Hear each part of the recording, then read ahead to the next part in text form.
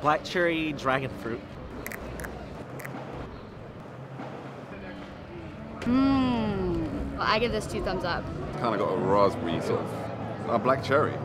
Fruity and wet. Bam! I don't know. kind of had a long night, so this probably is gonna come in handy. I like it a lot. And zero calories. Who doesn't like that? I like I like that I can hold it. Um, it reminds me of the commercials with like the little dancing things, like the little dancing lizards. It's kind of cool. I'm coming from New York City.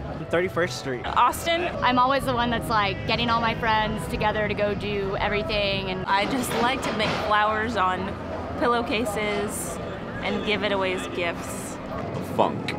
It's just a thing. It's like a groove. It's got it's an energy. It's same as like saying, saying something rocks. It's just got that kind of like thing that's an energy.